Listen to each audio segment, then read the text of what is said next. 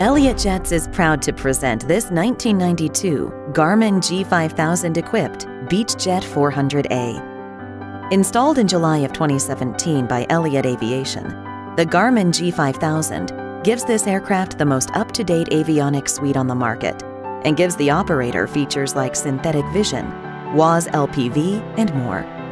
This installation has decreased the empty weight of the aircraft by over 250 pounds giving it a significant upgrade in payload.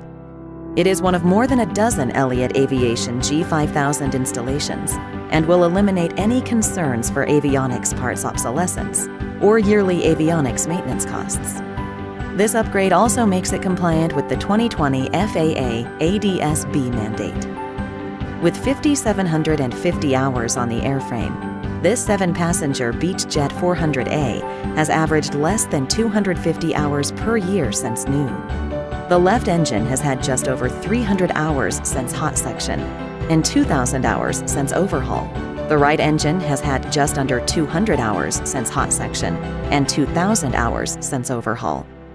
The exterior of this aircraft was painted in 2011 and has a white base with black striping and gold accents. The interior of this aircraft was completed in 2011 and has a seven passenger center club configuration. Completed in tan leather, it has tan carpet and gold plating. It features a forward closet and refreshment center and a belted lav.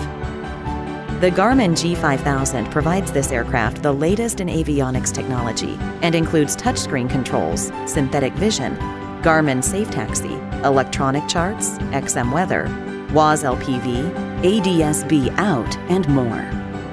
With Garmin G5000 and low average time, this 1992 Beechjet 400A is an excellent value. Contact one of our dedicated team of highly trained aircraft sales, acquisitions, and appraisal representatives to help place you in this aircraft today.